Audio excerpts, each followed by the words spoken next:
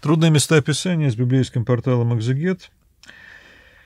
Евангелие от Матфея, 5 глава, 34 стих, это Нагорная проповедь, и здесь есть такой странный запрет. Вообще вся пятая глава состоит из очень странных утверждений, странных обещаний, странных запретов. Этот не самый, но достаточно странный. Я начну с 33-го в синодальном переводе читать. Еще слышали вы, что сказано древним, не приступай клятвы, но исполняй пред Господом клятвы твои. Это ссылка на Моисеев закон, понятно. А я говорю вам, не клянись вовсе, ни небом, потому что на престол Божий, и дальше 35-й, ни землею, потому что на подножие ног его, ни Иерусалимом, потому что он город великого царя, ни головой твоей не клянись, потому что не можешь ни одного волоса сделать белым или черным. Ну, в наше время, конечно, можешь, э, химия достигла очень больших результатов. Но здесь, конечно, не про это, а природный цвет волос. Наверное, и тогда могли покрасить э, чем-то, каким-то там, не знаю, соком растений или чем-нибудь еще. Но да будет слово ваше «да», «да», «нет», «нет», а что сверх этого, то от лукавого. А что плохого клясться? Вот э, до сих пор, между прочим, э, существуют ситуации, когда э, нужно клясться, и причем есть вот даже в христианских странах традиция клясться на Библии говорит правду и только правду в суде. Воинская присяга, когда э, будущий воин клянется исполнять приказы, служить своей стране и так далее. И более того, э, в армии даже такое правило, пока ты не принял присяги, ты, в общем, не солдат, и тебя даже наказать как следует не могут. Но как только принял, вот тут уже э, дезертирство и все прочее становится действительно серьезным преступлением. А что плохого, что человек, призывая в свидетели Бога, ну, в языческом обществе, наверное, каких-то богов, а в атеистическом обществе, допустим, какие-то высочайшие ценности. Я вот давал присягу советской армии. Кстати, если бы не давал, то было бы довольно плохо, потому что за отказ от присяги, как за отказ от воинской службы, в общем, сажали в тюрьму. А, вот, и э, что плохого человек обещает исполнять, насколько ему это удастся, какие-то очень важные свои обязанности – а брачная клятва, когда э, вот тоже во многих культурах, и в светских, и в религиозных, вступающие в брак люди клянутся друг другу в любви, верности, в уважении, в, в том, что они не просто так на секундочку встретятся, а что они жизнь вместе будут строить свою. Между прочим, это многое значит для людей, которые всерьез к этому относятся. Что плохого в клятве, я вас спрашиваю?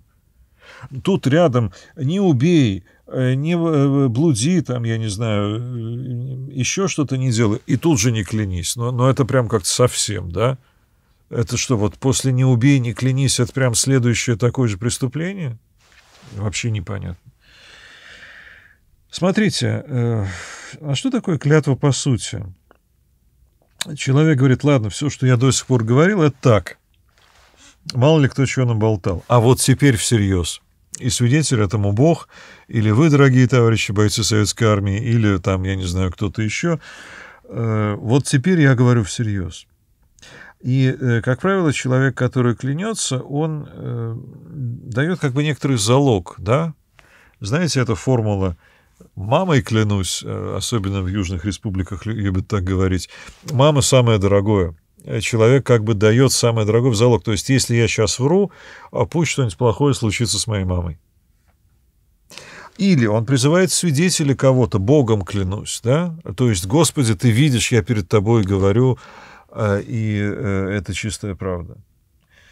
И Христос говорит, ни землей, ни небом, они не твои, ни Иерусалимом, ну ладно, Иерусалим не мой, согласен. Не головой своей, потому что не можешь волосы изменить их цвет, да? Нет, ну свою голову я-то э, могу положить э, в качестве залога. Я могу сказать, что отрубите мне голову, если я сейчас соврал, да? Но э, сам себе отрубить ее не могу. Ну ладно, голову не могу, а выше там говорилось руку себе, отруби глаз себе вырви, это оказывается можно а может быть, глазом или рукой можно поклясться, да, и тогда ты можешь исполнить э, эту клятву, если окажется, что ты соврал. Более того, там выше Христос как раз и призывает отсечь руку или вырвать глаз, если ты э, видишь, что они служат причиной для твоего соблазна, для твоего грехопадения. Все равно не очень понятно. Но мне кажется, что ключевой здесь момент — это да будет слово ваше «да», «да», «нет», «нет», а что сверх этого, то от лукавого. То есть э, получается, что то, что вы говорите, должно быть таким же, как если бы вы клялись каждый раз. Не в особых торжественных случаях, а даже в простой бытовой беседе. Э, вы не можете изменить в этом мире ничего, да, волос на своей голове, но слова свои вы можете изменить абсолютно свободно и произвольно, правда? Я могу сказать любое слово. Я могу э, наврать, я могу сказать правду. И, э, по сути дела, он говорит, говорите правду. Вообще отношение к клятве было довольно настороженным у разных людей. Встречалось у языческих греческих мудрецов, встречалось у евреев, относящихся к группе есеев. Э, и, э, в общем-то, по той же самой примерно причине. Свободный, честный человек не нуждается в клятве. А клятва — это как бы обесценивание всего того, что говорится без клятвы. Ну, э, смотрите, если человек, допустим, должен какую-то сумму денег и говорит, а вот эти купюры мы проверим в банке на э, вот этой машинке, которая проверяет подлинность купюр, но только вот эти, а те не трогайте, те берите как есть. Мы, очевидно, заподозрим, что он нам хочет всучить фальшивые деньги, да? Если только несколько купюр он позволяет проверить.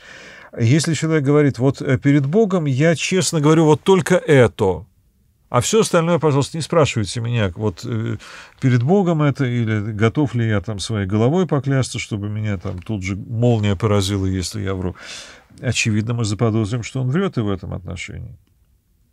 И э, с другой стороны, смотрите, если человек пытается каким-то образом магически, а клятва, в общем-то, магия, по большому счету, управлять этим миром, и э, даже то, что ему дорого э, давать э, таким залогом для своих слов, в общем-то, он ставит и себя немножко на место такого маленького божества. И э, вот этого совершенно не нужно. Ты не можешь ни одного волоса сделать на себе белым или черным, но э, ты можешь свое слово сделать либо да, либо нет. Сделай же это. Ну, я предложу, может быть, э, свой перевод этого отрывка. Также вы слышали, что было сказано в древности предкам, не нарушай клятвы, исполняй все, в чем поклялся Господу. А я говорю вам, не клянитесь вообще никак, ни небом, ведь оно Божий престол, ни землей, ведь она подножие для него, ни Иерусалимом, ведь он столица великого царя. Не клянись даже собственной головой, ведь ты не можешь ни одного волоса сделать седым или черным. Простое ваше «да» пусть будет настоящим «да», простое «нет» настоящим «нет», а все прочее от лукавого. Ну вот лукавый, который явно здесь понимается как враг, враг рода человеческого, как э, дьявол, э, смотрите, он в любой добавке. Это такая экстремистская Нагорная проповедь, да, вот как там вырви э, глаз, отбрось руку, э, как вот, если сказал безумный своему брату, тоже, что убил, подлежишь гиене огненной, вот так же и здесь, любое слово, кроме «да» от лукавого – знаете, очень часто доводится слышать, нет, ну я, конечно, тра-та-та-та-та, но... Вот как только начинается это «но», от лукавого. Внеси свой вклад, оцени, подпишись и поделись этим видео.